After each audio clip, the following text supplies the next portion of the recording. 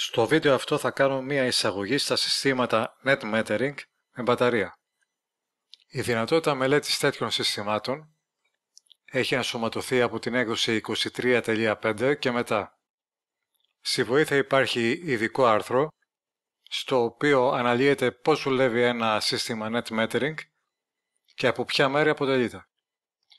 Δεξιά υπάρχει μία εικόνα, το οποίο είναι ένα διάγραμμα ενός συστήματος Net Metering το οποίο έχει και μπαταρία. Η ενέργεια ξεκινάει από τα φωτοβολταϊκά πλαίσια, πηγαίνει στον inverter, στη συνέχεια ο inverter δίνει ενέργεια στα φορτία της κατοικίας. Εάν υπάρχει πλεονάζουσα ενέργεια, πηγαίνει πρώτα στην μπαταρία, η οποία φορτίζει. Αν η μπαταρία είναι πλήρως φορτισμένη, η πλεονάζουσα ενέργεια οδηγείται στο δίκτυο. Στο σύστημα υπάρχει ένα εξάρτημα που ονομάζεται Utility Smart Meter, που είναι ένα εξάρτημα το οποίο λέει στο inverter αν η ηλεκτρική ενέργεια έρχεται από το δίκτυο ή πηγαίνει προς αυτό.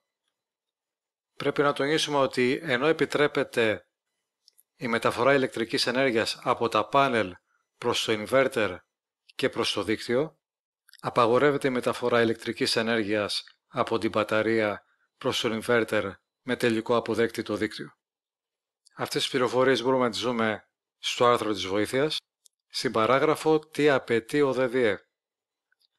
Η μπαταρία επιτρέπεται να δίδει ενέργεια μόνο στην κατοικία, οπότε αν έχουμε διακοπή ρεύματος, η κατοικία θα εξακολουθεί να έχει ηλεκτρική ενέργεια. Οι μπαταρίες των φωτοβολταϊκών συνήθως παράγονται σε τυποποιημένες αρθρωτές ενότητες δηλαδή μπορούν να επεκταθούν με επιπλέον modules και μια μπαταρία των 5 κιλοβατόρων μπορεί να γίνει 10 ή 15 κιλοβατόρες ή και παραπάνω. Όσο μεγαλύτερες μπαταρίες έχει ένα σύστημα, η κατανάλωση από το ηλεκτρικό δίκτυο μειώνεται. Ο ΔΔΕ θέτει ένα ελάχιστο όριο κιλοβατόρων στις μπαταρίες ο οποίος είναι ότι η μπαταρία θα πρέπει να έχει αριθμό κιλοβατόρων ίσο με τον αριθμό κιλοβάτ εγκατασημένης ισχύως φωτοβολταϊκού συστήματος. Για παράδειγμα, μια φωτοβολταϊκή εγκατάσταση 5 κιλοβάτ απαιτεί μια μπαταρία τουλάχιστον 5 κιλοβατόρων. Αν όριο στη χωρητικότητα των μπαταριών δεν υπάρχει.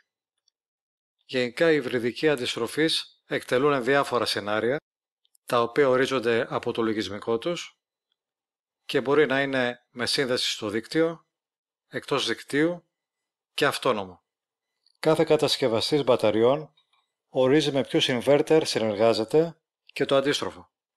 Γι' αυτό απαιτείται ιδιαίτερη προσοχή στην επιλογή αγοράς του ζεύγους inverter και μπαταρίας. Τέλος βλέπουμε τον αισθητήρα κατεύθυνσης Smart Meter, ο οποίος απαιτείται από το DDE και ο Smart Meter αναλαμβάνει να δίνει την εντολή στο inverter αν θα φορτίσει ή θα εκφορτίσει την μπαταρία.